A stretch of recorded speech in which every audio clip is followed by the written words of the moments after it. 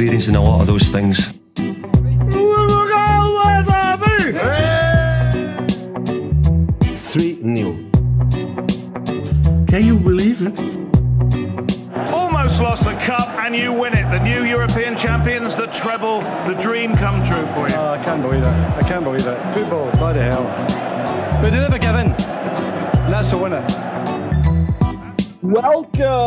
To the American Red Devils podcast. I'm John, I'm Alex. and we are bringing you the best Manchester United news from this side of the pond. Woo, sir. How you doing? How you doing? It was a 1-0 victory at Old Trafford against West Ham. David Moyes, tactical genius, back in the house. Still not getting that win. Um, it was an own goal that took it, but you know what? United deserved it. Played well, you have to be said. Uh, zero shots on goal for the Hammers, but good win. Important win. On to Europe. Sir, I mean, I thought it was a good win. Like you said, uh, David Moyes, tactical genius, coming back into the place where he can't win. I think that's 14 times he's gotten knocked back at Old Trafford. You love to see it. Uh, he's the worst, David Moyes. Uh, don't like him, don't rate him. West Ham playing well, obviously without Lingard, sir.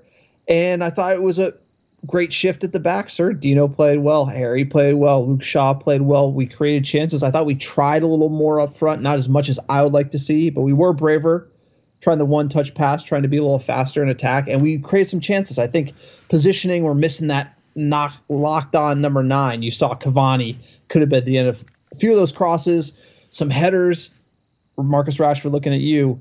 But regardless, I'm starting to see glimpses, sir. That was a good performance at home. good performance and it was a good response you know maybe from a mixed bag uh, against AC Milan midweek. So it was important. You know what you're going to get against the Hammers. You know that they were going to pack it in make it difficult for us but we did play like a little bit higher tempo had some good chances to be to be fair and I like what you pointed out. If Cavani was at the end of a couple of those crosses he certainly would have had a, couple goals today I would think. Um, but all around altogether a good performance from United. Very well at the back, right? I think Maguire standout had like an unbelievably good game. Luke as well as you mentioned, he was good going forward and tidy at the back. It's a team eleven performance. Something to be proud of, sir. West Ham they didn't make it easy for us, but uh, we we controlled it pretty well. I mean, they didn't make it easy, but going forward, we gave them nothing really. I mean, like for maybe 10 minutes right after we scored the first goal, kind of back and forth, but really we locked it down. We closed up shop.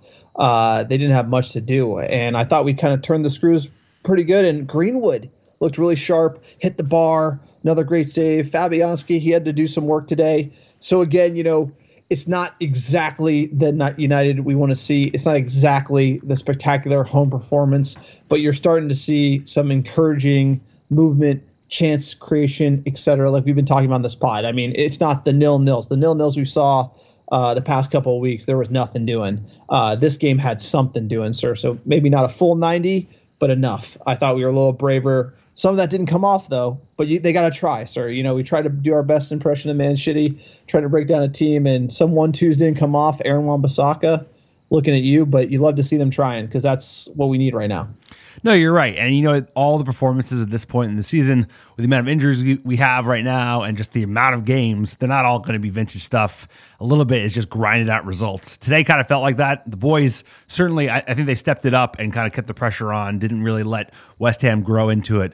Um, but it's about, it's just about cobbling together results. And that three points is all that mattered. That clean sheet was all that mattered. Uh, the no subs, it's like a, it's like a Fergie move back in the day, you know, like not doing any subs, but it worked. So, it's a big three points because I, you know, it's one of those teams that you just don't like playing because they always make it difficult for you. Dude, and shame on David Moyes to come out the way he came out. I mean, it's just like everyone's trying to Mourinho us. Like every single goddamn team that plays us wants to play like the most boring style of game. They don't want to come at us. They don't want to attack in any way, shape, or form. They just want to pack it in. And as a fan, it's rough to watch, but that's what the other team wants to set up like, right? And so the more we break down teams, maybe we'll see variability in how they set up. But I mean, we're going to Milan or we're going to the San Siro. It's going to be the same thing. They got the away goal and they're going to set up to defense. Or it's just going to be the same. It's more the same. I don't see any team changing how they're going to approach United through the rest of the season. So as a fan, it's frustrating, but this is kind of the way we are. This is like, this is like who how they play us, sir. Yeah, I mean they know what um what we're good at and what we're not good at, and that's what's gonna be so important to get some of those creative players that could take a burden off of our boy Bruno Fernandes, i.e. Paul Pogba, i.e. Don, Donny Van de Beek, even Juan Mata, um, because like you said, everyone's packing it in. AC Milan packed it in last time we played at home and made it difficult for us. We're really good on the counter. It's gonna be the same thing. You know, they know it. Shame on us. Do it once. They're gonna do the same thing uh, when we play them at their house. No, absolutely. And you you know one thing that kind of showed today was the balance in attack, right? Once we had Greenwood going through the middle, the left hand side looked dangerous, but Aaron Wan-Bissaka wasn't clicking on the right. Dan James, he puts in a shift coming back. He does really well coming back, but that end product going forward, sir, you know, Ole didn't get his the the right winger he wanted this summer, and we're starting to we've seen it all all year, and you have to always hit. We got to beat that Glazers out drum because the balance and attack should be much better from United, especially in these teams that want to defend. And we need to be sharper on the right hand side. And maybe I was thinking Amad, you know, especially when it was nil nil. I was thinking maybe Amad would give us a different dimension there with Aaron Wan-Bissaka. But you know, we're being we're being hamstrung by the Glazers. No, we are because he shouldn't have just had you know attacking options. He should have more midfield reinforcements. We should have an extra center back. We, they should be reinforcing and investing in this team because there's so much promise. Um, so that he was left a little bit, you know, shorthanded. Of course, we're going to be shorthanded in perpetuity under those uh, Glazer owners, unfortunately, sir. But like you said, I think Dan James stayed in because he looked so good uh, when West Ham had the ball. So he kept his role there, even though he gave the ball. It wasn't his best performance going forward, especially on the break when he made the wrong pass to Bruno. Um, but defensively, he was good, and it was like a full eleven defensive performance today, and that's what just shut him down. Zero shots on target. Love to see it no big improvement and you know uh, going glass half full here. Captain's performance from harry Maguire, right. Got the elbow early shook it off. Back right head in the ball. You know he's in the mix on everything and he, he played very well. Harry played very well today. One of his best games united shirt. Didn't back down. It's almost like getting hit hit early with that uh, elbow from antonio. Kind of showed a little dog in him sir. That's why i need to see more Maguire. i need to see a little more dog in maguire I like that point, sir. It's also, I think the whole team showed a little bit more dog. We were like real, we were getting to those 50 50 balls. I think United played like a little bit of an edge that you usually see from a West Ham side, you know, a little dirty, a little gritty, old English. And we kind of brought that to him today. And Harry was like the standout because he did have a captain's performance. It was like, really kind of held the line all over the box, just clearing everything out against a big um, Michail Antonio player that probably is not that easy to defend against. Absolutely, sir. Uh, you know, uh, Antonio rocking the short shorts, sir. You know, you, you, you Yoke City, bro, yoked. You spit. Uh, quick PSA for the podcast. If you like the American Red Devils, we are for fans by fans. What that means to us is we do not have any sponsors on the podcast. We do not have any corporate sponsors pulling the strings behind the scenes. We are fan owned uh, and fan supported. And one of the best ways that you can support us as fans of the podcast and of the greatest club in the world, sir, is via Patreon. You can visit our Patreon page at www.patreon.com slash American Red Devils. We're giving away pins, stickers, shirts, and scarves for different tiers. You can support us anything from $1 a month to $20 a month. It's a great way to support the podcast and independent fan content, sir. We also have lots of new merch into our online store. If you don't like Patreon, just pick up uh, America Red Devils blankets, sir. We have a great uh, fleece blanket in stock. Literally on Friday, we put in the store. We have new poster prints. Those are from Stan Chow with our badge logo. We have the new beanies, masks, shirts, sir, scarves, everything in between. So if you want to support independent fan content and you want to look good while doing it, grab something in our online store, www.american Devils. Click on store. And while you're there, check out our amazing blog, completely fan generated, sir. That's how we operate the American Red Devils. We're giving you that biased fan take from the couch. You'll love to see it, sir. For fans, by fans, baby. Wouldn't have it any other way. Hashtag Glazers out. Hashtag Glazers out. That's a good point. You got to go to our store. We have a Glazers out sale. It, it never ends. that's, that's the thing in America Red Devils. Glazer out sale never ends. Nine ninety nine. Get yourself a green gold scarf. Uh, for when we go back to Old Trafford, you can show them the colors to know that they should get out. Another great way that you could support the pod is writing a review on iTunes. It is one of the best ways for us to be found, and it's an absolutely free way to uh, support the pod. All you have to do, write a five star review on iTunes. Uh, if it's got some cheeky banner, even better, and send a screenshot to American Red Devils at gmail.com with your mailing address, and we will get you some stickers right away, sir. What else we got?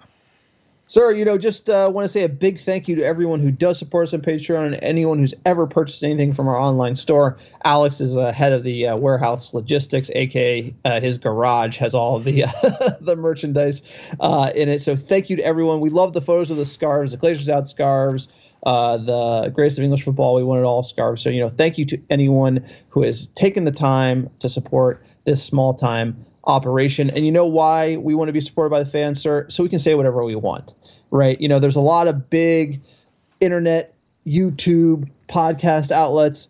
They're hamstrung by the club, or they're trying to say the right thing because they want player interviews, etc. But we will give it to you straight, and we have no strings attached, sir. We fan owned and operated, baby, and that's what it should be because we shouldn't be pulling punches when we're talking about Avram Glazer getting a hundred million dollar payday when we're not going to get any signings, and there's to be a bunch of bullshit from Eddie Woodward, director of football, etc. So, got to keep the club honest, sir.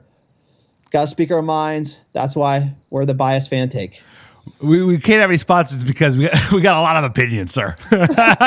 Especially about this poor, poor ownership and even uh, worse leadership in terms of Ed Woodward just pulling the strings. Unbelievable. Um, but still, we can talk about the Glazers all day, sir. You know, we could do a whole pod on just that. You know, I, I just want to say that's important to us that we can speak our minds here at American Red Devils, and you know, all all views and uh, biased fan opinions. Welcome, sir. Speaking of biased fan opinions, let's break down this amazing match, sir. Instant classic. Manchester United one, West Ham nil, Old Trafford. It's been 29 games this season. Let's get into that lineup. We had Dino, number two in net, Luke Shaw, Maguire Lindelof, center back pairing, Wan Bissaka on the right, Fred, McTominay, midfield, James on the left, Fernandes in the hole, Greenwood on the right, and Rashford through the middle. That did those front three did change quite a bit in this game. But what was your gut reaction seeing the starting eleven? I mean, the big thing for me was seeing Rashford back. Thankfully, he was fit because uh, I think we needed him today. Added another just attacking element that you know without him in it, it's hard to find a lot of goals in this team with all the injuries we have. So that was, of course, what, I'd like to see. Fred McTominay, not a you know, not a lot of surprises in this eleven, sir. Given the amount of injuries we've had, it was basically picking itself. The Rashford being being available, obviously Dan James is going to keep his starting spot. They just they ain't that many other bodies to throw in at this point other than kids. So this has got to be good enough to break down West Ham. You knew it was going to be tough doings because they were going to pack it in. Absolutely, I was pumped to see Rashford uh, on the team sheet although I know he's playing injured, right? He's got to have a sort of painkiller injection. Then he's got a shoulder he needs surgery on as well. Then he's got the Euros coming up this summer. Marcus Rashford, you know, remember the back injury, played too much. This is kind of one of those where maybe you should have saved him for AC Milan. It is a big game. So look, uh, Rashford, credit to him stepping up. My next focus was the bench. Obviously, I'm looking at Amad. But then like thin, sir, Thin. real thin. We got Bishop on the bench. Grant.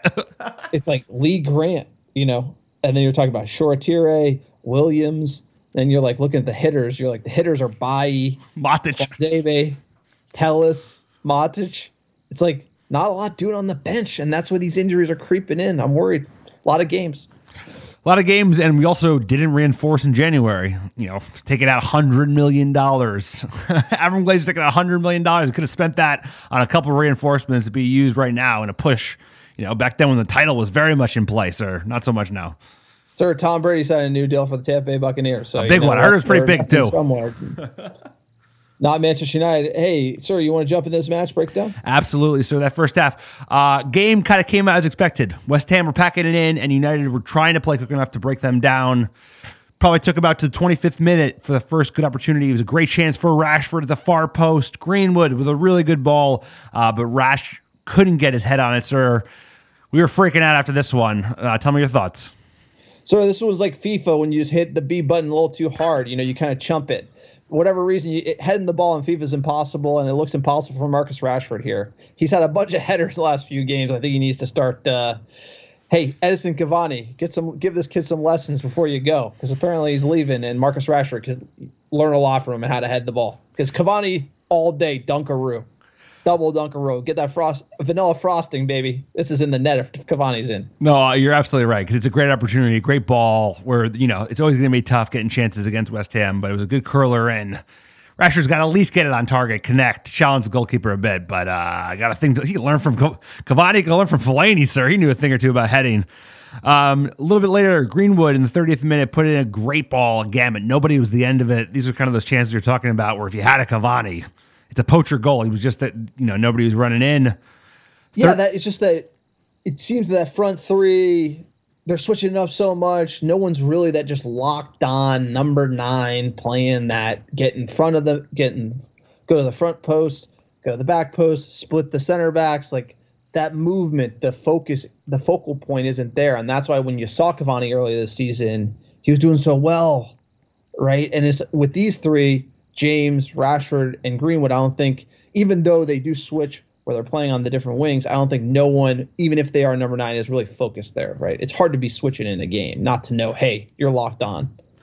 No, we don't have that kind of out and out pure play number nine like Cavani is so good at. I mean, uh, Greenwood was showing that a little bit today. His movement was good. You know, he was moving around pretty well, making some of those runs, but it, were, it was often his balls that he was putting in that nobody was at the end at, of. Uh, but speaking of Greenwood, but, but we need it, sir. Think about it. RVP, Van Nistelrooy, Rooney when he did it for United. I mean, like all great United teams, they all have that player. Multiple of those there. players. Yeah. We need them. We need one of those, sir. We need like you know, you, we never up. replaced Lukaku. I mean, arguably, you yeah. you know, like Cavani's your Ighalo, sir. We got a Ighalo, we got Cavani. Uh, that's the Glazers for you. Anyway, another good chance. 37th minute. This was the best chance of the half. Greenwood put in a great curling effort that Fabianski just pushed and glanced off the post. But this was a good, good chance. I thought this was going in.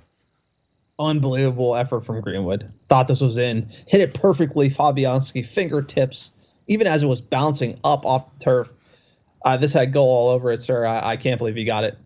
Yeah, after that one, I was starting to worry. Uh, last big chance of the half, 38th minute, Rashford. It was another like far post, glancing header. He got a hold of this one, not a lot of power. This was a little tougher than that earlier chance. Totally, sir. I, I mean, again, just close but no cigar. That was the that was the first half. That was the first half, sir. Uh, going in, you know, going into halftime. What do you think Ole was saying to the boys?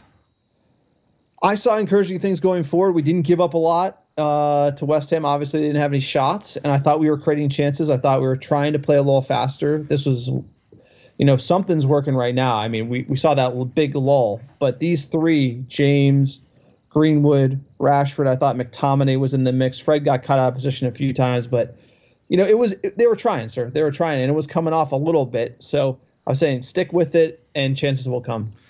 And that's how it felt, right? It was definitely encouraging. You thought a goal would come, sir. United came out the sharper side in the second half, and it didn't take too long. In the 53rd minute. Alex corner to defend here. Oh, and it's in! And Scott McTominay, who got the FA Cup winner here against West Ham, claims the credit. Well, we've talked about set pieces from West Ham all night and it's been Luke Shaw who's been taking him. But I thought it might have been an own goal first glance. I thought Dawson headed it in the net, but it's a brilliant, brilliant delivery. Puts it into a. There you go, sir. Neville had his say. Hey, they don't all have to be beauties. They don't all have to be curlers from Bruno Fernandes. Sometimes you just need the ball to go in the back of the net. I'll take that all day long. I think you said it, sir. I take this one to the bank all all goddamn day. Three points. Check, please. Let's go honestly, I was like, I'd never been more pumped about an own goal. Anyway, um, right after this, sir, the United, you know, we played a little bit and then kind of West Ham got back in the game for a spell. 60th minute, Bruno did force the keeper into a good save after a nice strike. Um, and then the 74th minute, United break after Diop uh, give the ball away to James, but he passes the ball behind Bruno. This was a great opportunity on the break. James not one of his best passes today.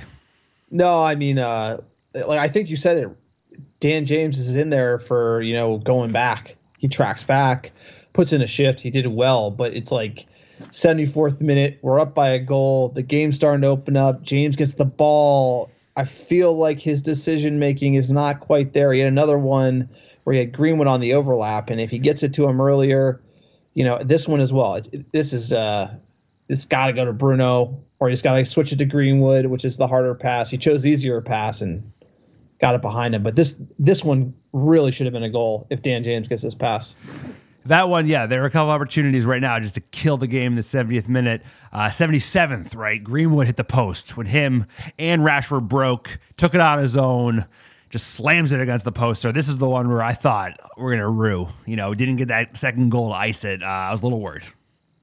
Great hit from Greenwood. I mean, he's the opposite of Dan James going forward. He's so dangerous. He's like step overs, left foot, drills it, totally beat Fabianski and then hits the post. I mean, unbelievable. He's dying for a goal. He'll get it. He'll get it, sir. He's due. He is due. He's been playing better. You have to say, like his overall game of play, his link up has been really good. Today, he looked great. So did everything but get the goal. Last notable moment in the game, so 80th minute, Maguire put in a great block um, when West Ham were kind of looking threatening. And that was basically all she wrote. United didn't even make a sub, which is the first time I've seen that in a long time, but a big three points at home against the Hammers. David Moyes, tactical genius, is going to have to wait on winning at Old Trafford when he's not a United manager. Sir, doing the double over David Moyes, what do you say? Manchester United fans, look at this point. Sir, we were, we were nervous a lot of fans were nervous about this game. I was nervous about this game. The three points from this game are big. It's it's getting nervy in the top race for top four. Yeah, I said it. We're in a race for top four, and every game, every three points, is just like so critical. Keep our second place spot. Got Leicester in the FA Cup, sir. I mean that, that that's another big game. But as far as league goes, we're done till April third. So. Uh, kind of chip up that three points, take a break, focus on Europa League, FA Cup, and then hopefully come back. Paul P, Donny Van de Beek, looking at you, Cavani, easy on leaving, sir. We got a season here, Cavani. Like it's, it's Tell your dad to shut Manchester. up. I, I swear the weather's getting better in Manchester. Cavani, Keep saying that. do me a favor, Cavani. We need you. We need we need like at least eight goals from you in this run. And come on, let's go. Let's regroup everyone uh, heal their wounds and let's kick on, sir. I'm really hoping that this, you know, break from competition for maybe uh, two weeks we got will go a long way to help United. We've often needed uh, international breaks, sir, especially when injuries have been piling up. And, you know, they might not even let players go on international international break, given what's going on with COVID still in Europe and around everywhere um, in terms of traveling and quarantining and coming back for games uh, like we're seeing. So we just need to get through these next games, two big games, Europa League, FA Cup, but it's all about making progress in the cup competitions because we got to take home some silverware. It's not going to be the league this year, it looks like, but getting silverware for Ole is massive.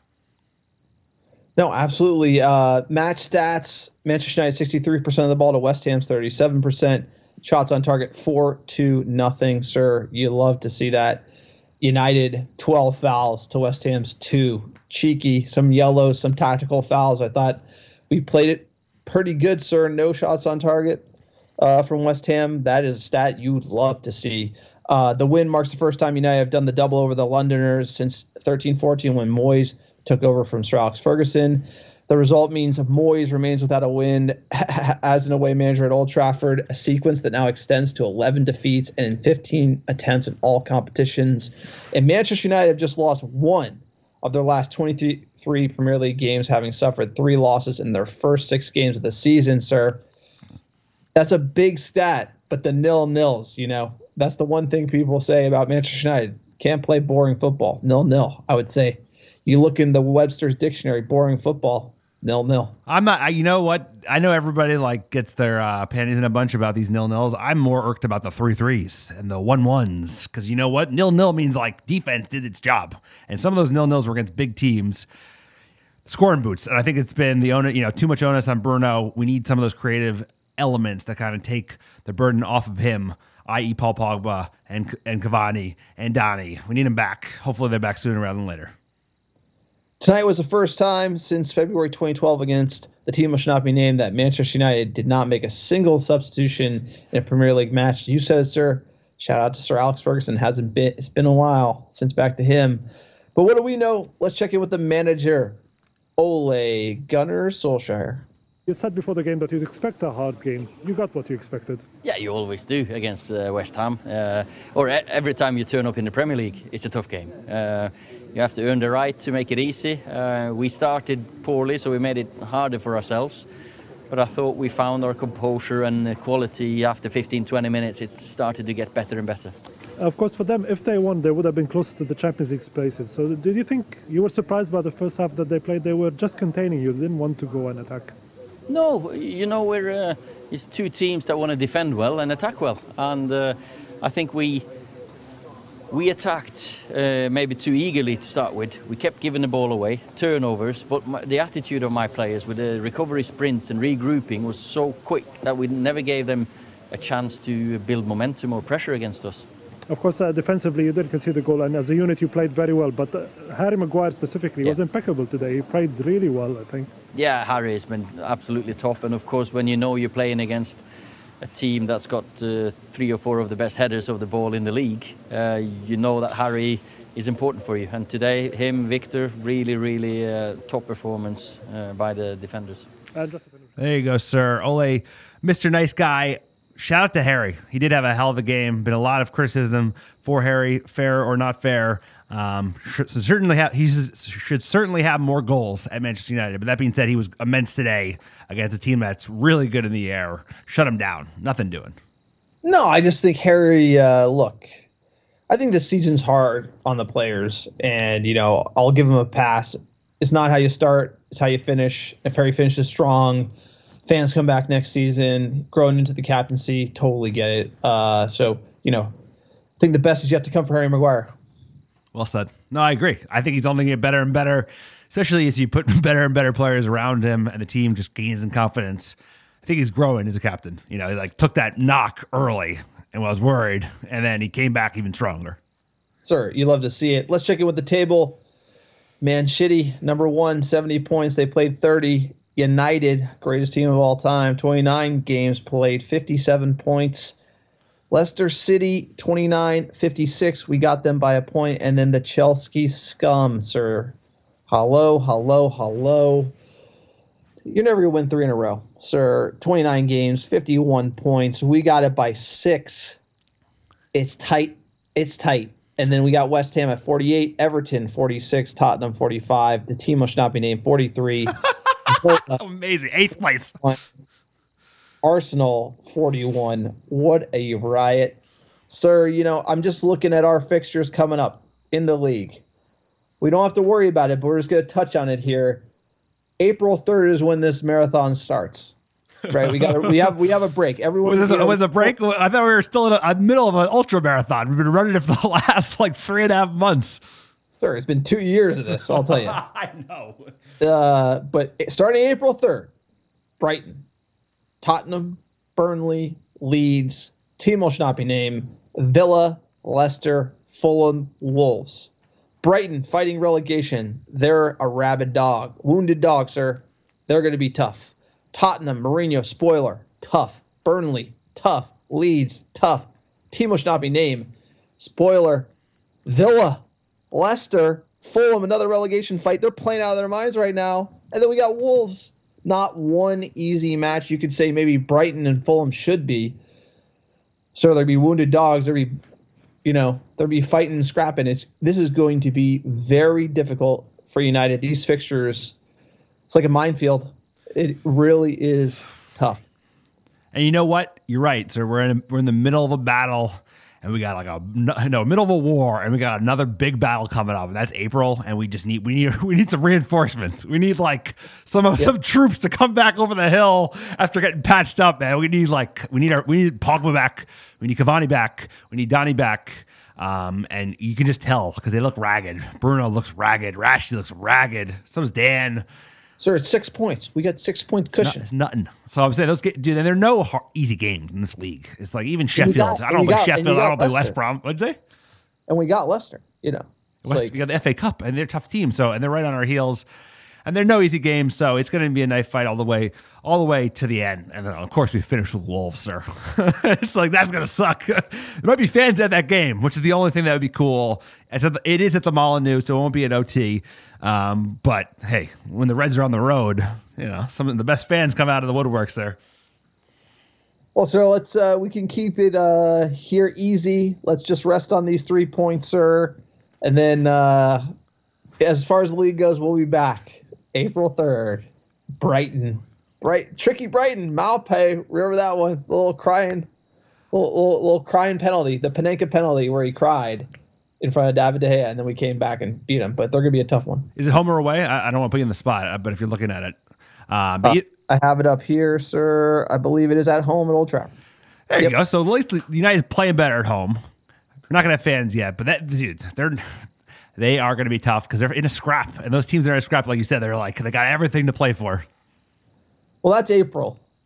But today, sir, today we got Hans and Franz. We got the Europa League banger. Hit it.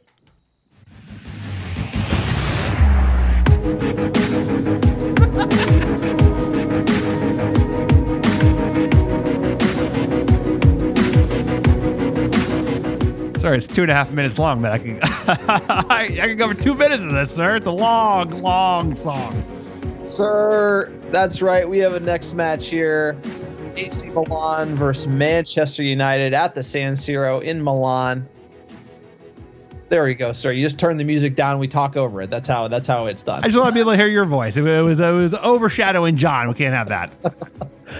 Uh, it's gonna be Thursday, March 18th, sir. 1 p.m. Pacific kickoff time, 4 p.m. Eastern. Daylight savings keeping you on, sir. Can't believe they steal an hour away out of the day. I mean, that should be a crime. Yeah, but then the sunset, you know, then it gets dark at eight o'clock later, you know, in a couple months. And also, this would be, I- you know, this is the only time I'm like jelly. I'm not back home uh, where we grew up in Jersey or New York, East Coast, because 4 p.m. 4 p.m. is like a pretty awesome kickoff time. You know, Yeah, have a, have some dark ales. Exactly. Lifetime versus Milan. Games won five. Games drawn one. That was at home at Old Trafford. This past week, games lost five, sir. First time we ever played, May 1958. Manchester United versus AC Milan. We won 2 1 the European Cup. Milan, they lost to Napoli today after drawing us. They have lots of injuries. No word on Zlatan. Obviously, there's no word on Pogba on our, our end. A lot of injuries for both teams. They have the away goal. I think they're going to be stingy at the San Siro. This one could be uh, a tightrope. This could be a tightrope.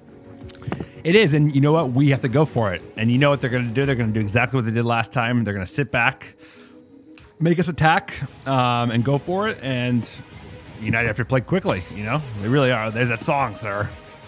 Speaking of going for it,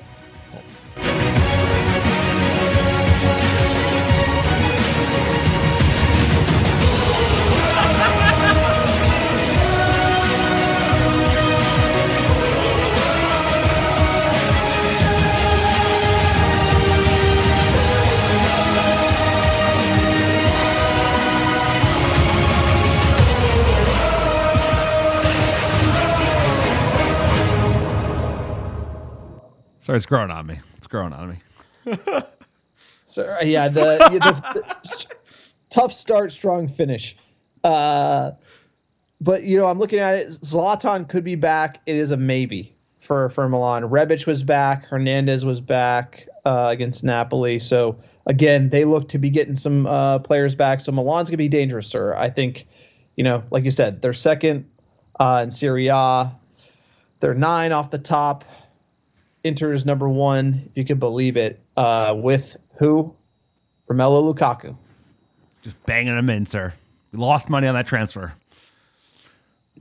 Yeah, lost did- money on that transfer. us, sir. I know, and they still haven't paid us. And you know what? I take him right now because he he would score goals in this team. Yeah, you know, Ole, I, Ole didn't rate him for whatever reason. You know, I do agree, and that's I think Ole is going to realize the plight of being owned by the Glazers, which is you don't you have to work with what you got because once you sell Lukaku and you don't even get paid for him, uh, you're not going to get a replacement, and we haven't. That's really unfortunate, sir. But look, we got a special guest match preview here at the American Red Devils. Our boy Freddie from Denmark. He's an AC Milan fan, but he's our boy. He comes to the UK. He goes to Manchester United games with us. He's a closet United fan. He's an American Red Devil, but you know, his heart's in Italy. So we figured it'd be great to bring him on the pod, have him, uh, you know, break it down. How'd the first game go? Preview the second game. We call him the uh, Danish Zinedine Zidane. So he's got the bald, he's got the he's got the bald head. He's as fashionable as Zidane. I'll tell you, when we go to United games, you and me look like we're we look like we're in boots and jeans and old jerseys. We look homeless. Freddie shows up with like you know, the uh, Prada scarf. He's got it going on, you know. So he looks like we call him the Danish Zinedine Zidane, sir. And it's a one of a kind interview. He is got the best perspective. You know, he is a United fan at heart. He's an AC Milan fan, of course, but he's a, he's a closet United fan. He loves his club, respects it, um, and it's a, a lot of fun just to get him on the horn. Well, I think he just likes going to Bishop's Blaize, drinking dark ales with us, and singing songs for about eight hours before a match. I think I think that's what Freddie likes. Can't blame him. I also like that. So, without further ado, the interview with the Danish Zinedine Zidane. Here we are with Freddie, the Danish Zinedine Zidane. AC Milan fan, Freddie. You watched the first game. You've been to a few uh, Manchester United games with us. Had a, had some dark ales. Had a blast. What do you make of that first fixture? Well, you know, it's it's always when you have a key battle, let's say where people they have a lot of injuries, it always becomes a bit, let's say, sad. Let's let's use that word. I think you're missing two profiles, which are really something special, right?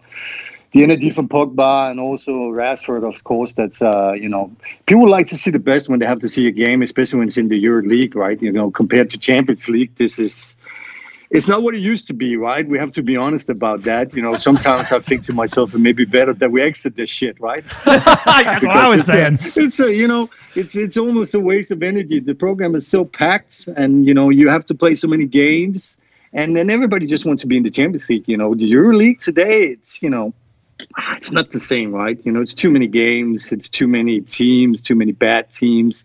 But you know, this was almost like a Champions League game that you know in the old times, right? So, um, you know, for us it meant a great deal. We had too many injuries. I think you had too many injuries. I'm hoping we'll see a change in the second leg. Um, but I hear that you got what three out of four strikers injured actually for West Ham. I think, right? So it's it's pretty bad actually.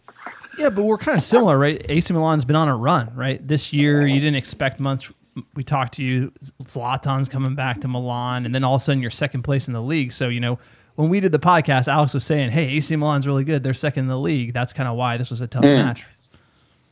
Yeah, yeah, for sure. But I think, I think in honesty, if you looked at the odds, right, I think, I think if we won, you would have gotten your money back maybe six times. And if you won, you got your money back 1.8 or something like that. That was kind of the odds before the game. Now, after the game, right, I'm going to be a little, you know, I'm going to be proud of my boys here, right? You got to listen to this shit, right? So, but they, I think, you know, we came, we came with, without five starters, right? And with an average age of, I think around 23 years old. Imagine that. I think you were pretty hit badly as well. Maybe your average age was around 25. But, um, you know, I think we dug deep. We made it hard for you. And I think you did one thing very wrong was that you didn't play fast enough. I, I, like your boy James. I think he did pretty good. You know, on a couple of occasions he nearly got to Calabria. Right, he couldn't even you know keep up with him on a few meters. I think that was a pretty big chance. You know, and you played it wide on a couple of occasions as well. But there's one thing I was really wondering about. You know, I don't watch Premiership too much, but Bruno Fernandes, excellent, excellent ball. You know, in the middle of the park. And Amad, I'm not gonna talk about that shit because, you know, I was the guy. I was the guy you remember, you know, I, I told you, I said, you know, you should put him in and then you put him in. What does the guy do, you know? Scores. Amazing goal. Amazing goal. And the delivery from uh, from Bruno, ouch, you know, beautiful. But but besides that, I think Bruno, where was he? He wasn't there, man. I was uh, I was a little bit surprised to to see that. You know, during your City game, I heard he played absolutely fantastic football, right? So I'm not quite sure what happened that game. But I think, you know, I think maybe your guys got a little, let's say, surprised about the level we have. And I think that, you know, you take the guys we have in the middle of the park, I think there's some big boys, you know? So, um, you know, it was a good game, good balanced game. And I think the second leg is going to be interesting. But we need those we need those injuries away, right? We want to see the best players, man. We don't want to see the, the B line, right? Is Zlatan coming back for the second game? What's the word, Freddie? I know you got you have you have inside info in the AC Milan dressing room, so you know. Of course, you can, can, you can break of some news here my on Danish brother, my Danish brother scored a goal. You know that in the very last minute, right? we know he was a, we know he's a Dane. the Viking, baby. The Viking. I'm not, I'm not gonna the Viking, but I'm not going to comment on your goalie's reaction to that goal, by the way. But uh, I'll leave that for you was guys. that bad? Right? What do you that think? Was, uh, was that was that on Hendo? Ah shit. He should he should have gone to that. Let's let's be honest. The guy is has done a great job while De Gea is gone on you know, but he's I'm not sure he's out with what personal things or something like that. He I had don't get baby. the background to that. You probably know more about that than I do. Yeah, he had a baby girl, Yeah. so that's why. Yep. Ah, okay. But I think you know he did good. He did well in the last couple of games. I think uh, I actually saw your, let's say, your away statistics, and you actually have an amazing away statistics. So I'm, you know, I'm pretty psyched about the second game. But the first game, if you want a recap of that, I think, you know, I think United got surprised that we're that good despite missing five starters. I think we worked hard. You know, I think we, we dug deep. I think we made it hard for Fernandes and the boys to make you know any chances. And then I think you played too slow. Let's put it that way. If you'd open up, especially in the second half, I think you could have won that game. We we got a cheap shit goal in the end. And What- then what you about know the I'm gonna sit here and say Kessie's yeah, and then I'm gonna sit here and say Kessie on the first goal. Do you think it was a handball? I don't think so. But you know, it's you know, it's water under the bridge. You know, they Yeah, got the 1-1, VAR and you know. One one's a fair result. We're going. Are we? Are we playing at the San Siro, or are we going somewhere else? I, I heard I don't know. Madrid. Are we going to Spain, Freddie? Do you know? no, no, you're not going to Madrid. You're going to San Siro, man. There you you're go, going to yeah, go to yeah. the big stadium.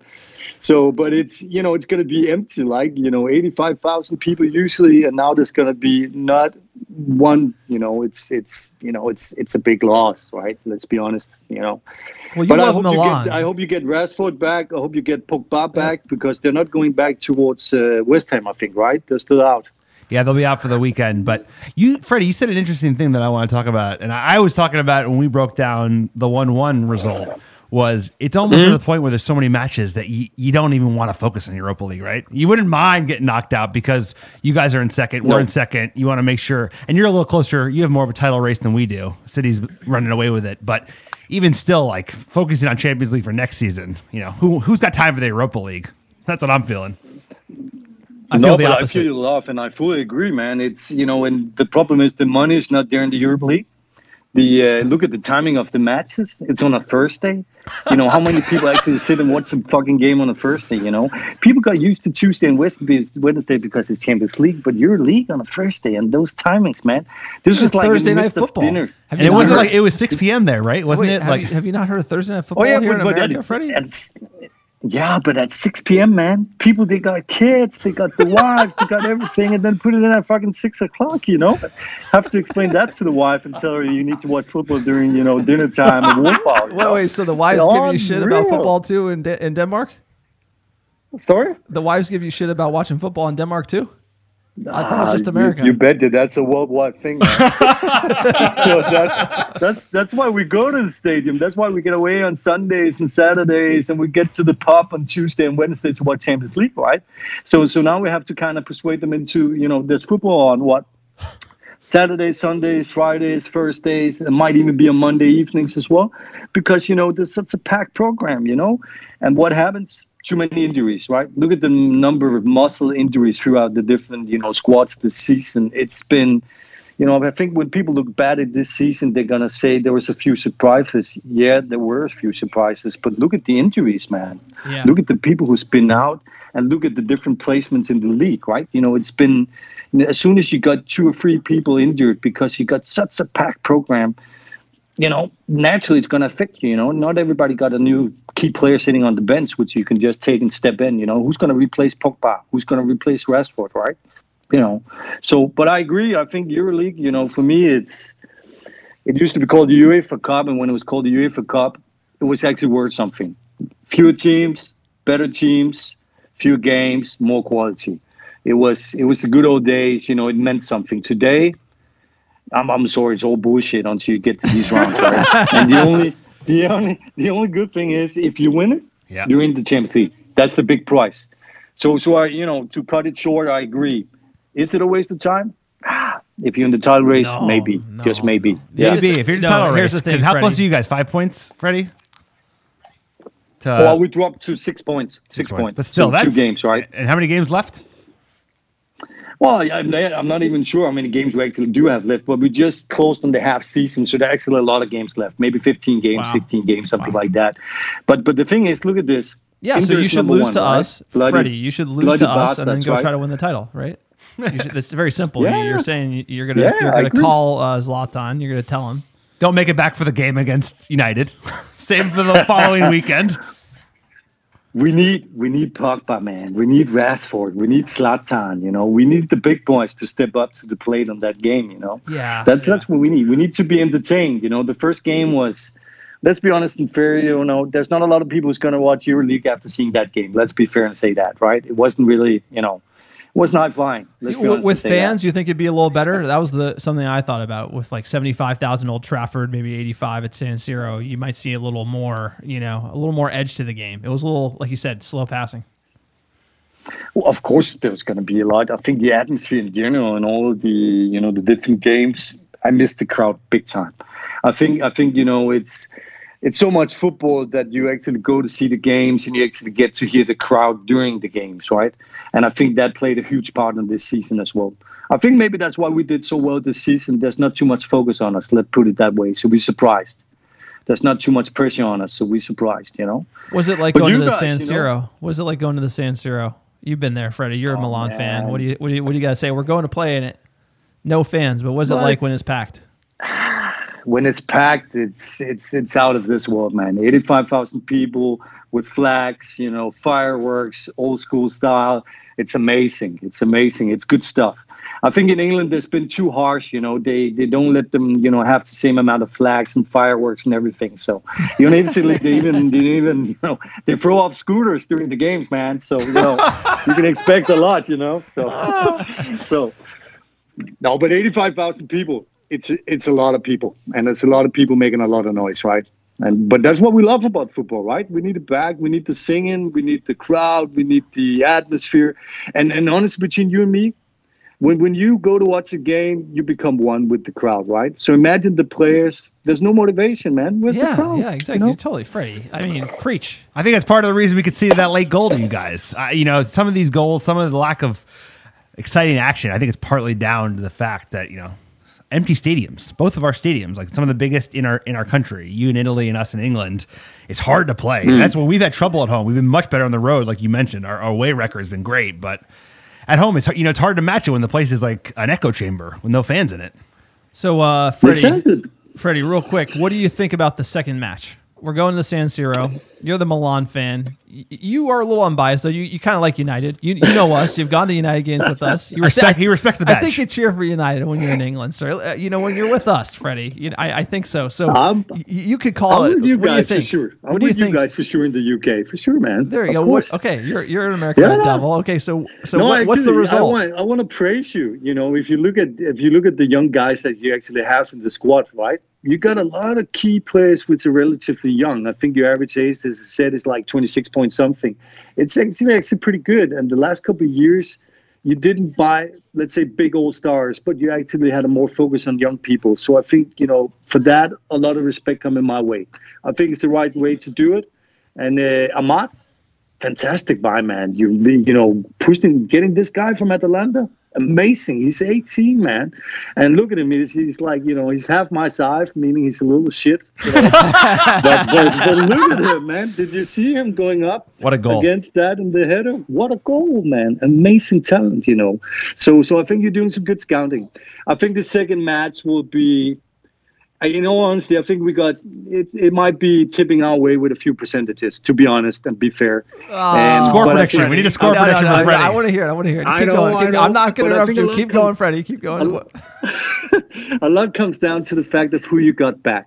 I think Rashford is going to be there. I heard the news about that. He said he's not ready for West Ham, but he's coming to Milano. Right? That's that's what I heard. You got you That's got gonna- you got a gonna- better ear so- on okay, stuff than we do. man. I'm about to So what- so, yeah, Freddie. Freddie's in Europe, so I think you're closer. Freddie, what do you? So what do you? What do you think? What do you think of the result? What do you? How do you see the game going? Is it gonna be like kind of slow like the first one? High scoring. Is it gonna be more open? You know, you're the Danish gonna be- it's- it's gonna- I mean, you know it. It's yeah, it's going to be more pace, but it depends on the players. Let's put it this way: if we got Theo Hernandez back, you know, Dalot is going to go out. Hernandez will come back. He's like a steamroller. He's going to come forward. We're going to have Calhanoglu in the midfield. He can do some passing. If Zlatan comes back, he's going to be motivated, guys. Man, he's going to be fired Yeah, up. Like you know, trouble. he has We're in just been trouble. out. He's been out for the last games. He wants to show, you know, what he's got. So, you know, Benjamin Button coming back hard, man. That's gonna be uh, that's gonna be hard for you guys. So honestly, I think it's gonna be an open game. I think that maybe we will set off, you know, nice and easy, and you'll be the aggressive ones. And then, then I think we'll see a lot of counter attacks. And um, I think I'll say we, we're probably going to win three to two. I think it's going to be a good game. All right, all right, Alex. What, what's your score prediction? What do you think? I like that three to two, but it's going to be United's favor. So we, we take the Nah. tie, head on to the next la- next round of the Europa League. That terrible music keeps playing. I think we're honestly, Freddie. you said it. Uh, you know, the, you're going to sit low because I think a lot of people have solved United by defending, packing it in, staying narrow, giving us the width, especially if we don't get like Rashford back. I think it's probably going to be similar to this game. I'm thinking it's going to be 1 1. I think this is going to go to extra time, maybe penalties, United advance, maybe on pen, something like that. I, I, want to see a 3 2.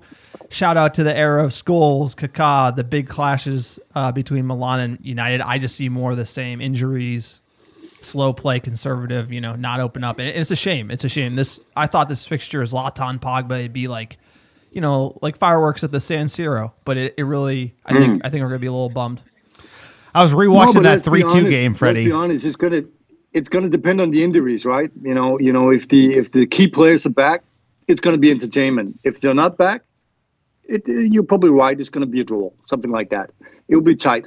But I think you need to score first if you get mine. You know, you know, we're, we're probably you know pretty confident with one goal away, right? So um, you know, but I'm hoping I'm hoping for a lively game. We need that to the audience. We need it to the people, right? We need Europe League on the mat, on the mat. So you know.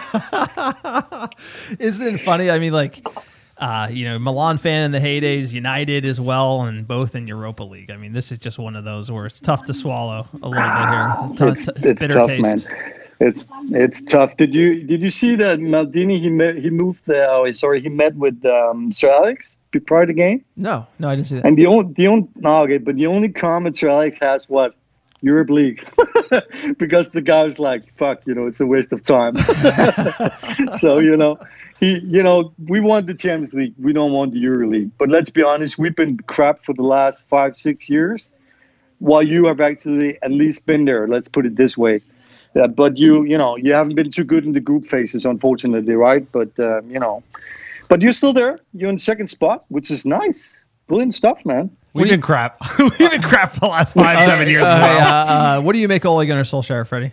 Wh- What's your as a neutral fan? What's your call on the manager? When you look at him, he's just sitting out on the bench, and I was like, but maybe it's because I don't watch too many games with him. But he's not out there yelling at them. He's not trying to, you know, to say, you know, be enthusiastic, go for that. You know, if you look at Pioli, which we got, he's always yelling and screaming and directing them and telling them where to go and what to do. You know, you got to be in the game, man. You got to show some fucking balls, right? And and Ole is just sitting there like a like a pretty schoolboy, man, with his curls, right? And, you know, where is he? Where is he, man?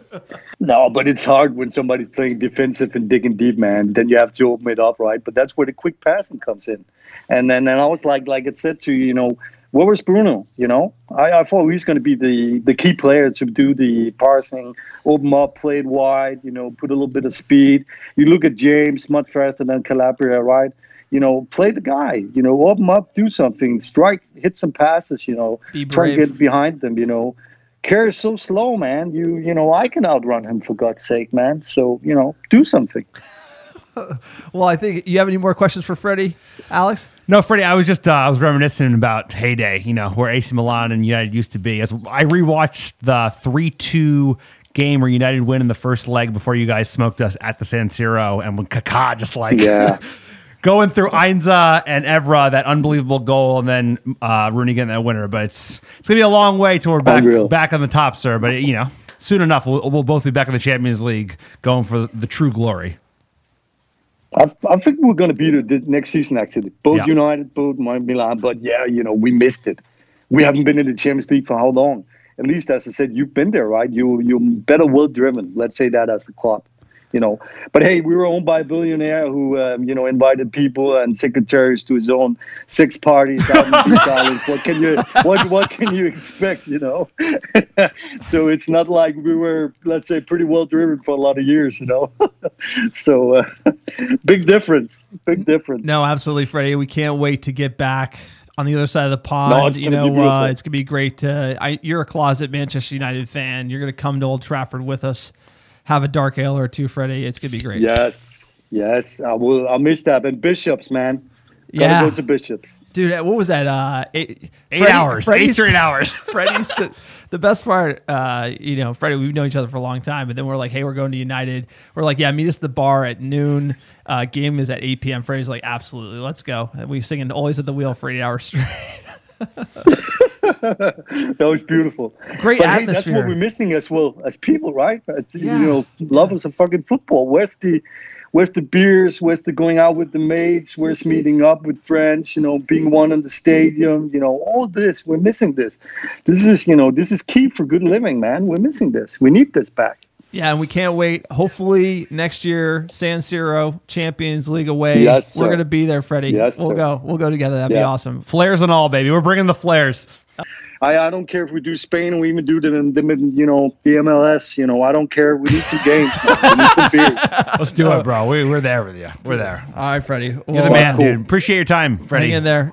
Yeah, likewise. Stay in touch, Boys, my man. Take care, right? Cheers. Yeah, Take care. Stay safe. Later, bro. Take care, Have a my man. one. Sir, what an interview. Freddie, great to have him on the podcast. Great insights to United, just football in general. Said, you know, going to the stadium, we become one. Love Freddie, sir. Absolutely love him. What a riot! What a what a what a guy! One of a kind, Freddie. Can't wait to see him on the other side of the pond. But just pleasure to have on, uh, and what a perspective, sir. We're gonna be back at Bishop's Blaize drinking those dark ales sooner sooner rather than later. I hope. Absolutely. We cannot wait. You know, that being said, how dare Freddie come on the podcast and tell us AC Milan's going to win? You know, that that's one thing I got to ding him for. Freddie, if you're listening now, you know, next time you got to you got to say United's going to win. Who knows? I predicted that we're going to go to pens, sir. You say we're just going to be 3-2 United. We're going to go through. But before we get into the score predictions, the official score predictions on our end, sir, let's get into the injuries and then break down our starting 11 here as per tradition on the podcast. Physioroom.com. Mata's out. Pogba's out. De Gea. He didn't have the baby, sir. What's he doing? Uh, Cavani, Van de Beek, Martial, and Phil Jones, sir. Martial, there's a lot. There's no detail here from Ole really on all of these injuries. The physio's working overtime. Who are we going to see? Hard to say. What's your lineup for AC Milan, sir? Here we go. This is what I got. I got Hendo back in net. I got a back four of AWB, Bailly, Maguire, and Shaw. I'm going to do Fred McTominay midfield. Bruno, of course. I'm going to do Amad on the right, Greenwood on the. Uh, excuse me, Rashford on, on the left, and Greenwood up front. Sorry, I could have sworn when I when I saw your lineup you didn't have Amad in, which is why I put Amad in mine. But you know, I think you stole my Amad. He was. Stole my- He he, he was certainly in because I did the agenda and I, I had mine in first. So I trust me. I did not put on in after the fact. I like the, I like we the accusation though. I appreciate the I- accusation. I saw Martial on yours. So what you Martial's hurt. I knew he was hurt. Alex likes to copy my lineups. Yeah, I yeah. know. Tactical genius. Okay, David Moyes, tactical genius over here. I'm the tactical genius. I got the crystal ball. He still likes to copy my lineups. I'm going to say Hendo in net, AWB, Lindelof, Maguire, Shaw. You got to stay with that back line. Been playing well. Lindelof's been doing well. Lindelof, Maguire, you can't mess with that chemistry, sir. You know, I'm going to ding you on your lineup there. It Looked in my crystal ball. Fred McTominay midfield. they, they start Bruno, Rashford, Greenwood, and Martial going to come back from injury, sir. I've seen it here. It, you know, it came to me in my crystal ball, my prediction. So, you know, I have to actually, when we do the agenda, I got to put a fake lineup in. So then you steal the fake lineup, then I get the crystal ball, then I get it right. There you go. There you go. Let's see if you get that score prediction right. Uh, pens. That, yeah, I wonder if you're gonna stick with that, the Freddie call, because that would that would be hot if we went to penalties. Sir, booking the bookies, uh, I think it's uh, Milan are favored now. United plus 240, plus 250 the draw, then plus 110 for AC Milan. So United, the you're getting your money for United to advance here. Score score prediction. So are you gonna stick with your three two from uh, the Freddie call? I like the sound of that. I think I think it's gonna be a more open game. I think United's gonna have to push forward. Vulnerable to the back will probably concede, but you know, United backs against the wall. This is how we do it. Can't wait. On to the next round. I think it's going to be stingy, sir. Like I said, United hit one, Milan pin him back, goes to extra time, goes to penalties, sir. You know, I think these two teams probably as good as you know, especially if they don't have Zlatan, right? I really think we just eat the we nullify each other a little bit, and I'm seeing one one. Obviously, United, we got to go for it, sir. I, I, as a United fan, they have the away goal. We need to be throwing the kitchen sink at them from minute one, and I want to see that from the from the lads. Which should be exciting, you know, because all these games, especially with all the games we've had, they haven't all been exciting, unfortunately. Um, and we United fans certainly like some excitement. So we should be going for it on the front foot. You know, the owners should be on scoring, and there's goals. There's goals on this side, even with the injuries, sir. Sir, absolutely. Let's break it down. We have some great news. United in the news. Sir, apparently Manchester United ready to listen to offers for David De Gea could sell him in the summer with Ole Gunnar Solskjaer ready to make Dean Henderson his number one goalkeeper per the Daily Mail. Didn't Henderson just make a mistake a match ago? Yeah, how many mistakes has they have made in the last two years? This is true, but in order to win the number one spot for United, you think you need a little more convincing than this. No, you would think, um, unless it was already being being had. You know, the decision was already on rails, and everyone was um, seeing De Gea leaving from a mile away. I mean, there has been sniffing. You, you mentioned PSG like weeks ago or a month ago at this point. I don't even remember. But it does seem like his best form is past and the best of De Gea is not coming back. So the thing is, I don't know if we're going to be able to move him given his salary. His salary is like he's the highest paid goalkeeper in the world. And is he going to garner that kind of wage and attention elsewhere? I mean, PSG have a really good keeper. I mean, who's going to pay top bucket for David De Gea? I think that it, hey, look, if there's a team, I think uh, unfortunately we should move him. I, I, you know, I'm a big David De Gea fan, and we went through, you know, a lot of errors and years at Manchester United where he was our Player of the Year. He absolutely saved us under LVG, got us single-handedly, handedly got us top four. But you know, as the game has changed, playing out the back, you know, I think the physicality of the Premier League as he's getting older, isn't there. Like you saw Hendo today with a big clattering challenge, yeah. and he's all in. And you know he's old English. He is English. He's got that grit and like, you know, you feel a little bad for the Spaniard, sir. You know, the Spaniard comes to England, the weather. You know, you can only keep him there for so long. You know. You know he's paid so well that I don't feel that bad. No, but his boy is Aguero. Aguero's gonna leave. Yeah, which but... is kind of weird anyway, right? He's boy like super boys with Aguero. Aguero's headed out after this year. I think he always wanted to leave United. He the fax machine, we all know it. All know the story. And then he played nice. And then now it's kind of the time to go because I think there's a market for him for sure. Uh, who knows how much the upfront would be because the wages are going to probably eat into that upfront fee, right? Someone will buy him, but they'll say, "Hey, we got to pay all these wages, so we're going to lower the upfront." And I think there's a deal to do, a deal to do with PSG or someone like that. It won't be a big money keeper fee. It would probably be 20 to 30, get the wages off the books. Hen, slot Hendo in at number one. I'm fine with that move. Uh, you know, Hendo, I'm not going to say Hendo's guaranteed number one, but like you said, De Gea's probably passed it. For me, it was over when we were in the Champions League with Barcelona and he, and he messed up.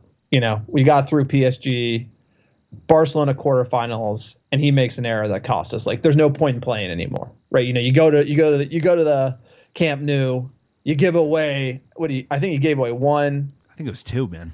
Yeah, I think he gave away two. I think it was two in a game. Like pretty much the game was over because of his errors, and I was like, that's it as a United keeper, pretty much for me. I always hoped he would kind of come back.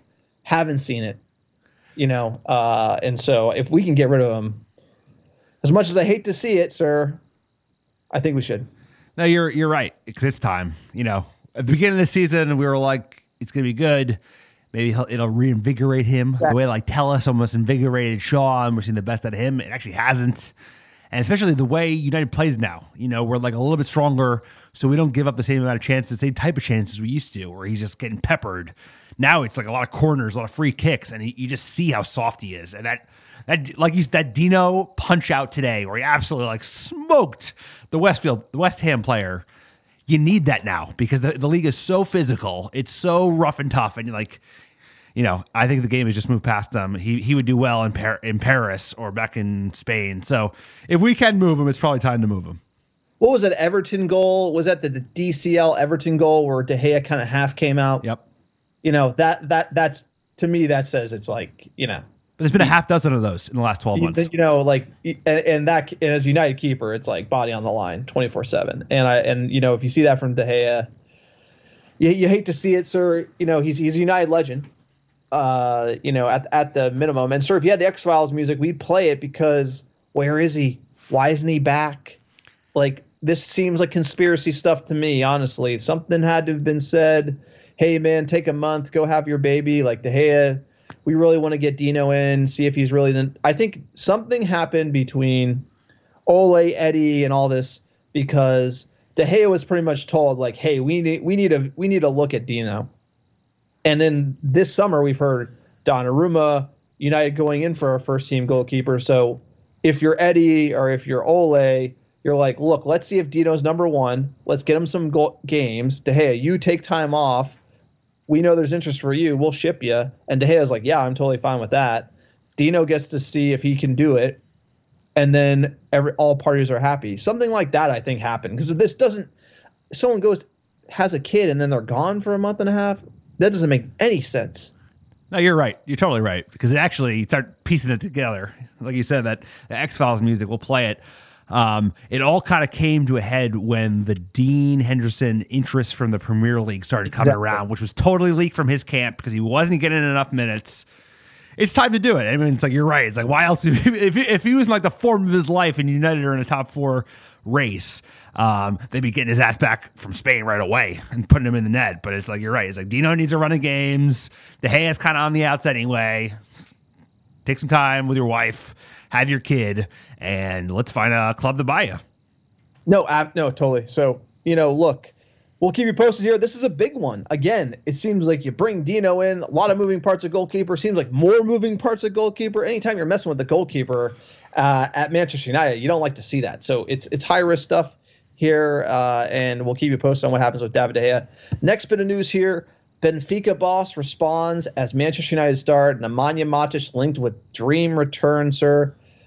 Matic, I think he's out, right? I mean, uh, he's been playing. He's he was always out of favor, if you remember when Ole came in. He didn't like Matic. Then Matic started playing, and he, he undeniably had to play him. I think he's getting to that age where you know the sun's sun is setting on Nemanja uh, Matic at Manchester United.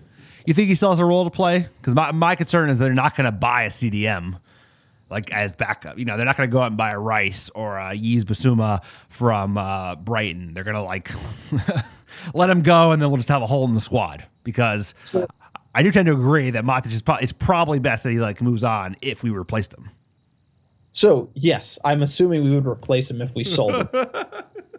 like, like he said, is like the problem is Solskjaer assumes his front office is going to go replace players. Like he's like, yeah, you can sell the Lukaku, just get me another one, and it didn't get him another one. It's like, yeah, you can sell Fellaini, just give me another one. Didn't give me another one. It's you know, it's easy to sell if there's demand, but it's like nobody's coming in on the back end. That's right. And if you think about Matic going, then you think about Pogba going, and then you're like, Fred McTominay all day, every day. You know, it's like it's maybe Tuanzebe, CDM, baby.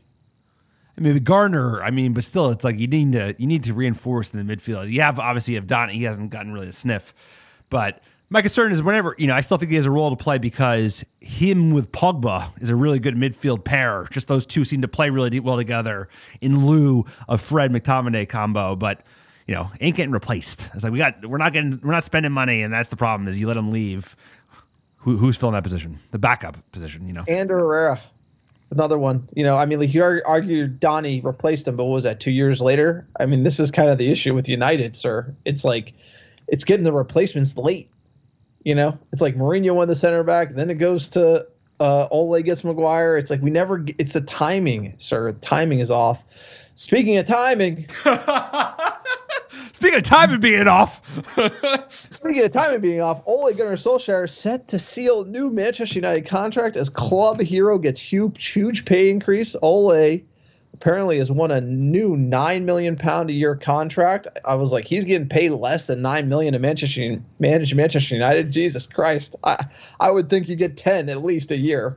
I thought he would be getting paid something like this already. Unbelievable. It's true. It's like you know, actually, like, he, he won them top four and like got you know got the Glazers a huge payday. Basically, kept the club alive.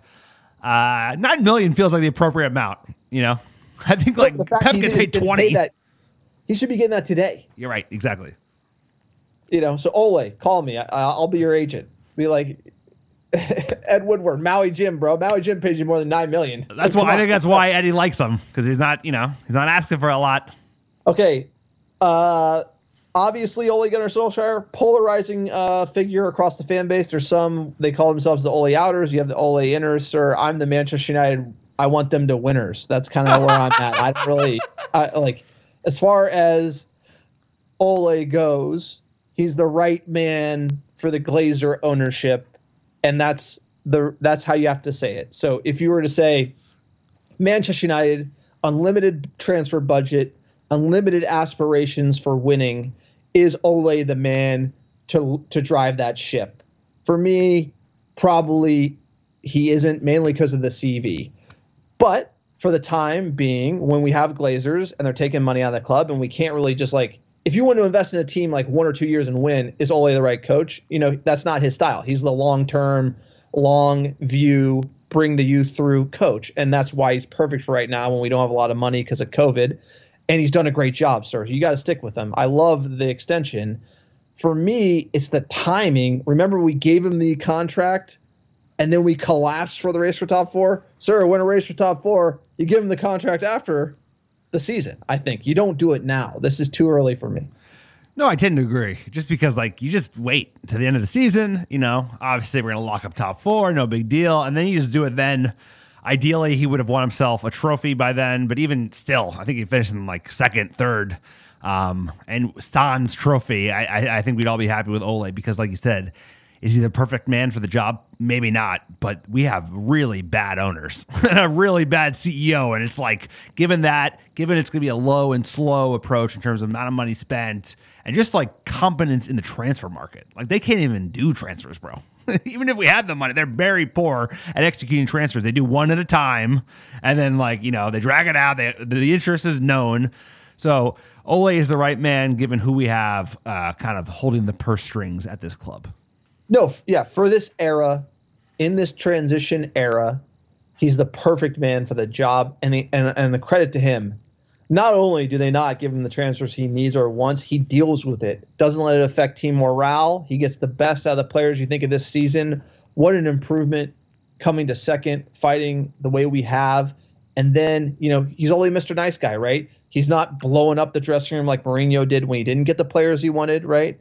He got wronged by the ownership and he didn't just complete come out and have a stinker and let it ruin the team. He's only Mr. Nice Guy. He deals with the bullshit above. He deals with the bullshit with Pogba below. And you got to give him credit for the era where there's tons of bullshit on either side of the fence. Ole is good at managing it, bringing the youth through, and he's a great steward for this era of the club. As frustrating as this era is, because I want Mackenzie Bezos to buy us and throw three billion in the transfer market. Unfortunately, that doesn't happen, sir. That's only in like FIFA manager mode. Anyway, she donated enough money to buy this club. it's like, um, but the problem is her money be going right to the Glazers, and nobody wants that. Uh, we could dream, sir. I think we're going to be holding off for a long time, uh, longer than we want, because I don't think they're going anywhere. They just like they could suck so much cash out of this bad boy that they're going to just stick around as long as they can. No, absolutely, sir. Look, we could talk about Ole. I'm I'm good on Ole. Get the contract. Just timing, Eddie. Just remember last time we gave him the contract, we melted down. So like, let's keep keep that little carrot on the stick out there for Ole. Either way, it's the right move right now. You can see what uh, Eddie's doing. He's getting all the yes men, all the old club legends who don't have experience in, so then they can't really complain. So you know, the Mourinhos of the world pushing back is not what he wants. He wants people uh, like Murtough and Fletcher and Ole, who are going to play nice with the Glazers, sucking the blood. Let's get into the fan questions, sir. Thank you for everyone who tweeted us, uh, comment on Facebook and Instagram. You know, we love the hot banter. Today was a positive day, sir. We got three points. At T. Quote, well done defense, another clean sheet and massive three points. I've slated Harry a few times this year. He was excellent today. Luke Shaw, outstanding. Mason is cursed at the moment. Both his chances find the back of the net last year. Hashtag glory, glory, Man United. Hashtag Glazers out. I agree. I mean, some of his play for Greenwood has been even better than last year. Like some of his link up play, some of his his movement with other players, just his finishing. He was just like insane finishing these chances he had. So it will come. You know, they were quick to quick to criticize him on NBC Sports. Didn't even acknowledge that he's 19 years old. It's like, yeah, he should be scoring way more goals. This happens, especially when he's a young kid. Um, and arguably, he needs to get more chances. We just don't create enough chances for the guy. You know, because he is he's got goals in him. At Burkett Mets, zero West Ham shots on goal says it all. Not the prettiest performance, but West Ham never threatened, and we could have had three or four. Huge three points for opening the gap to fifth. Team selection is awful thin right now. Let's hope those 11 have enough in the tank to get a big result on Thursday. So we're gonna need a big one. Hey, we're gonna need to dig deep. You know, San Siro. Thankfully, it's not full of fans. That actually should be an edge for us. But gonna need to dig deep and get a huge result on the road. At Bohem Boy for Life, our boy Devin, quote, glad to have three points, but our forwards definitely should have had at least two more goals today. Maguire played absolutely brilliant. Now on to Italy. Sir, we met Devin at Bishop Blaize with Freddie. He was singing Always at the Wheel with us for a couple hours. True Mink, you know, one of a kind. Uh, that's the great thing about this club, sir. You know, it comes down to it. Just put us in a pub, give us some dark ales. We'll bounce all night. A bunch of bouncing buzzy babes, sir. Sir, might even miss the match. We were having so much fun. That's true. That was more fun than the match, to be honest. We got a match. It's been eight hours at the pub. We been, we got a match. what match? we got a match. Uh, at Jamal Mota, quote, "Sir, solid performance with a clean sheet to boot. Our lack of clinical finishing is the difference between a, being in a title race and fighting for top four. We need someone to step up and finish these chances. On to Europe. Drop that Hans and Franz beat. Hashtag Glazers out." Hashtag Glazers out. I can't wait for that Champions League music to be back, sir. I don't have to win the Europa League to get in. Sir, why did you even say that? I'm just saying. just saying. At United Dondo, quote, can we just be better? Proud of the win in three points. We've seen players hit incredible highs, and although they can't be replicated every game, where is some of that fire and intensity? Sometimes we ping the ball about too slow, allowing teams to get back into their shape. I felt this frustration at times today, but I do think we did a little better. What do you think here, sir? We let West Ham. I thought there were times in transition where we could have been a little more aggressive, understanding how quick they're going to get back into shape. No, I tend to agree. Um, but also, like, this is a tough team. I thought defensively off the ball, we played really well. Everybody tracked back, a lot of effort. I mean, you saw that kind of up and down the pitch. So that's great to see at SSG Rock 17 quote need to use those subs. Stop burning out the players. Ole, great win, but take care of your soldiers. What subs? it's like a finished squad. Amad, uh, Amad Matic. You know, tell it. I mean, like you know, dude. I don't. You, we got the we got the result because he's made subs. Then we blew it at the end. So it's just like if it works, it works. Those are some facts, sir. At JM McLiver, three points are three points. Better moving forward this time around. Dan James reminds me of an unfit Luke Shaw. Not the best, still good, but has the potential to be really good when fully fit. Is James close to getting there? Can you see the potential to be really good, or am I crazy? No, I think he has that potential, and I think he's getting better. I just think he uh, he needs some competition. He's probably not a starter. He's definitely not a starter in Manchester United, but he's a squad player and has a role to play. Uh, and I think will only get better, you know, as he grows in confidence and gets more minutes. I think he's got it. He just needs a little more swagger, sir. You know, you kind of he's he he strikes me as like like Greenwood's got the swagger. You know, he gets on there, give me the ball, I'm gonna score. You know, James has that little like, what should I do? I don't know. Like it's he's got the pace, he's got the channel, and then it's that that final decision he hesitates uh, you know, I think hopefully with some more reps, he'll get rid of that, and we'll just see some Jan- Dan James just like Silky because he could be a real player for United on the wing. Uh, at Florida, CPA three two five quote solid win, but we should have had more goals. Couple shots were agoniz- agonizingly close, and Greenwood and Rashford need to be more clinical like Cavani. Three points critical for top four race, and we move on at Red Devil Woody, desperate for quality summer signings. None are coming, so it's down to the boys we have. Good display considering our injuries. Don't know why Ole didn't sub Rashford. This could bite our arses later, sir. None are coming, sir. None Those are coming. Summer signings. It's like because last summer we punted and then Cavani wants to leave. This summer is even more critical than last summer, and so it's almost like that hundred million we didn't spend last summer. We need to spend this summer. And if you look at what we should be investing in this club, it, you know, it should be a Sancho, it should be a Haaland. We should have both of them, and we're not going to get them. So it's like next season, I'm almost worried about next season more than I am this one. And this one, I'm pretty worried about. So don't get ahead of yourself. Uh, there's plenty to worry about in this season, but you're right. It's like we ain't getting no signings. this is the team you got. It's like reason to not unless we're doing a straight straight swap and getting Varane and for Pogba. It's like you shouldn't give Pogba away because we're not going to get a replacement.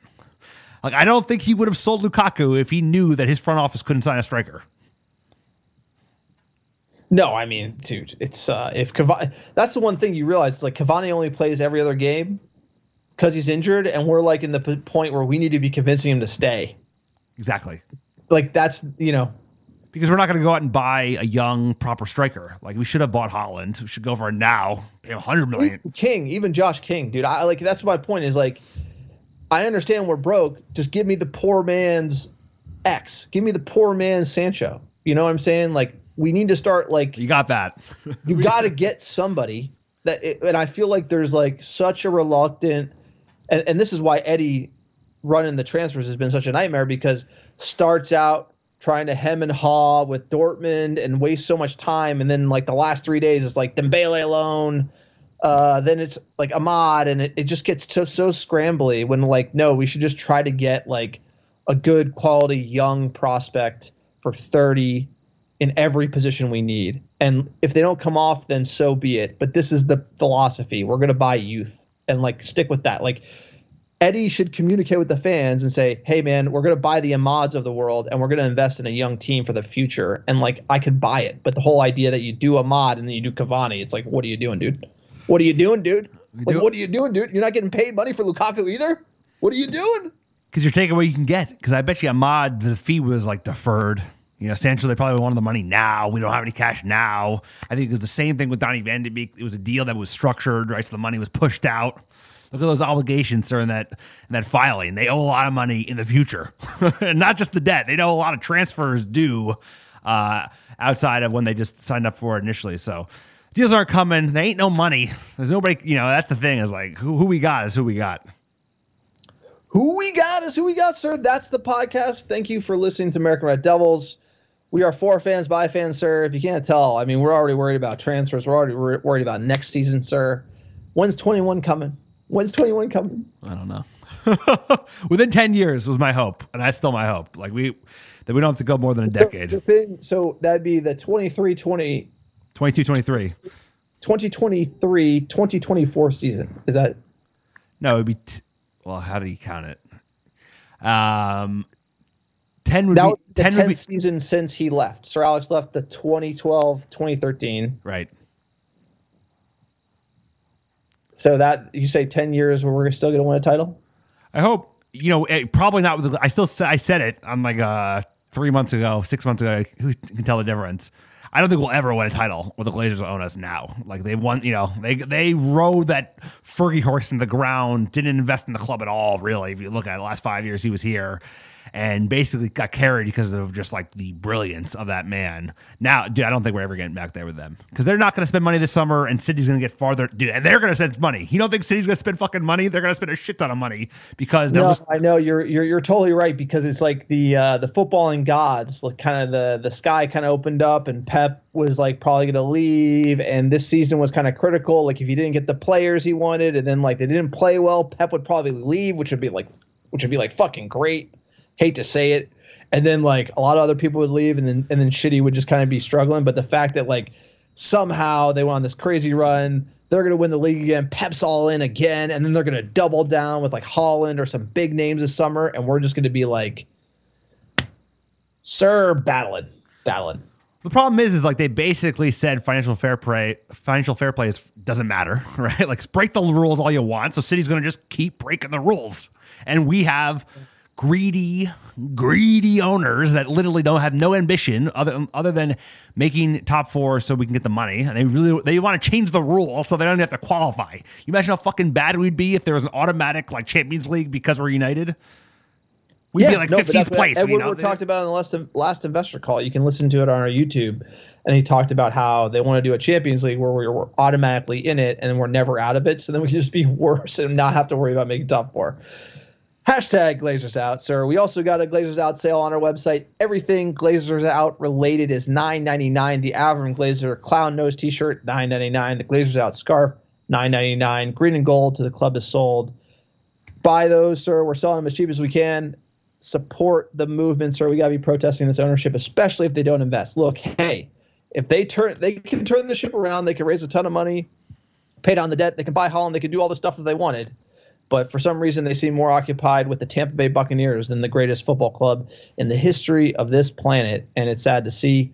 Also, if you want to support the podcast, support us on Patreon, www.patreon.com slash American Red Devils. Check us out there. Check out our website, www.americanreddevils.com, for some amazing fan generated content. And if you're interested in writing for the blog, it's only for fans by fans. You can email us, AmericanRedDevils at gmail.com. We're looking for anything, opinion pieces you want to write about different transfers, etc. We would love to have you contribute, sir. That's what it's all about. Fan content for fans by fans. So thank you for everyone who supports the pod. Sir, we've had an amazing week of downloads the last seven days. Give us our top 10 cities. Sir, number one, how you doing? How you doing? Kitty Hawk, North Carolina, Charlottesville, Virginia, Central District, Hong Kong, how you doing? Newark, California, San Francisco, California, uh, Hallsville, Missouri, number seven, Tracy, California, eight, Chicago, Illinois, Columbus, Ohio, and last but not least, your your favorite, El Trafico, California, Oslo. We see you at we see you Norway creeping back up at 11. Appreciate all the downloads. Appreciate all the American Red Devils listening in week in, week out, supporting the greatest team in the history of club football. Sir, we deserve to go back to the top. We've got to get these owners out. We've got to get the Glazers out. Get your scarf now. AmericanRedDevils.com. Sir, you absolutely love to see it. It's been a hell of a year. The ups and downs, no fans in the stands, but we're going to be following this team every single match. Sir, can you believe it? It's like three months. It's a sprint three trophies to play for. Let's go. Let's go. Let's never go. say die, sir. Never say die. That's why, hey, hate hated door, never ignore. We are Manchester United, sir. As always. As always, kicking a blue. The